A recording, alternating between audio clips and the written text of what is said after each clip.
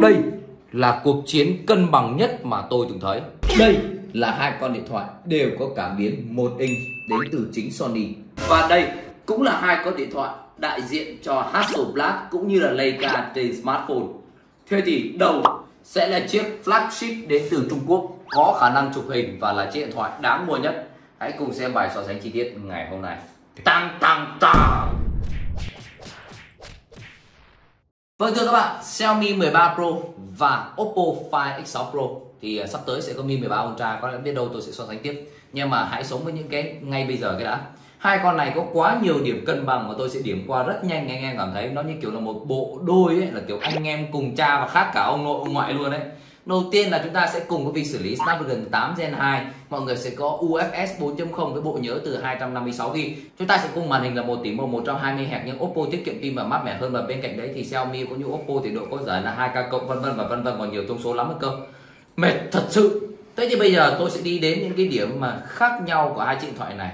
Và các bạn làm ơn đừng comment là Bạn nào so sánh cũng chỉ về camera thôi chán lắm rồi. Nhưng các bạn ơi các hãng bây giờ ngoài đua camera đếch biết làm cái gì cả? Không tin, ở cuối tôi sẽ chỉ các bạn xem các hãng bế tắc như thế nào nha. Về giá bán thì các bạn sẽ thấy đây là hai chiếc flagship cao cấp nhất và có Mi 13 Pro thì bán chính hãng ở Việt Nam. 7S đang để là 23 triệu 790 nghìn vãi nồi. Rẻ thật, với phiên bản là 12 GB và 256 GB bộ nhớ và các bạn lưu ý là sản phẩm này chúng ta sẽ còn giảm thêm 5% tối đa 500k khi thanh toán qua một số dịch vụ. Và các bạn còn được bảo hành toàn diện với dịch vụ bảo hành được mở rộng thêm, kéo dài thời gian lên đến tận là 24 tháng, chứ không như là con Phái 6 Pro này. Mình mua thì hàng sách tay cũng đã là mua tầm khoảng 24 không được bảo hành chính hãng.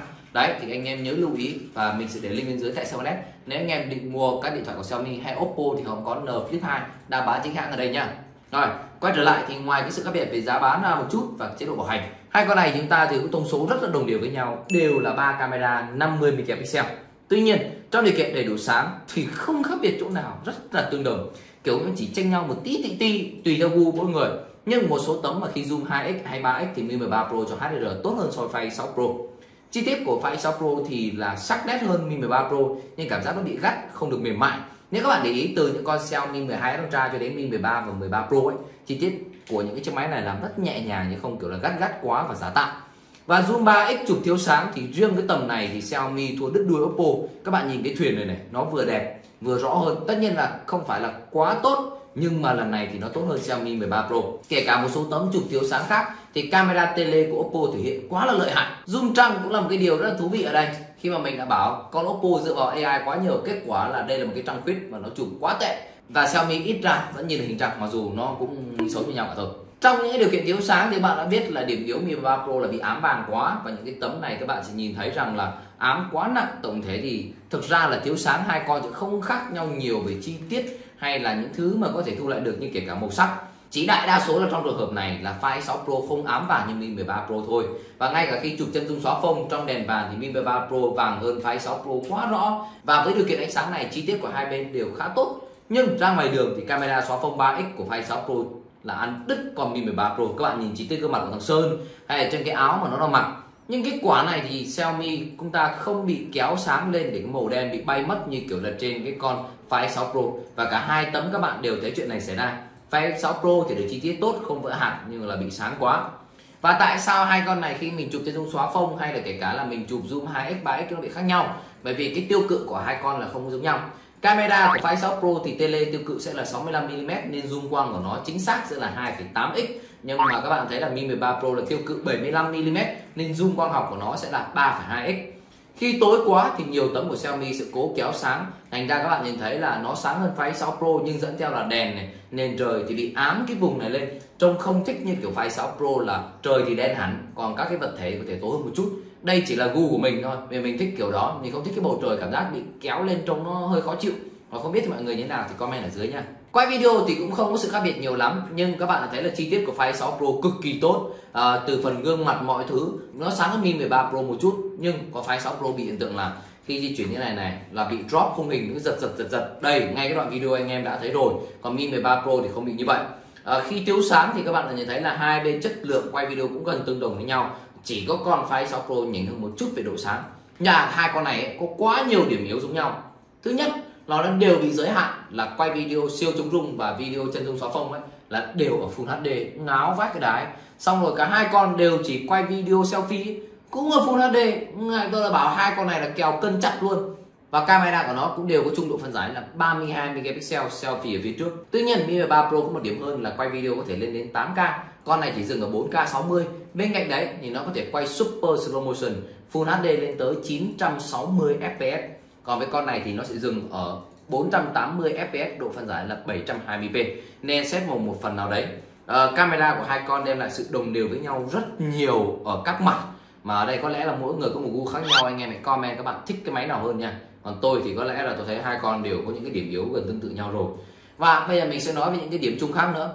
Về màn hình thì Oppo Find 6 Pro kích thước là 6,82 inch con này là 6,73 thì không khác nhau lắm. Oppo xinh hơn khi sử dụng tấm nền đó là LTPO 3 còn con này chỉ là LTPO thế hệ đầu tiên thôi.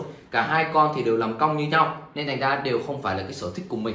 Và mặc dù là cùng một tỷ màu cùng có 120 hạt nhưng mà nhờ công nghệ mới thì con này sẽ tiết kiệm pin hơn khi giảm tần số quét nhanh và hiệu quả bên cạnh đấy chúng ta đều có 8 Gen 2 nhưng rất tiếc là Find 6 Pro đã có Mi 13 Pro này ra chuồng gà nếu xét về hiệu năng chơi game.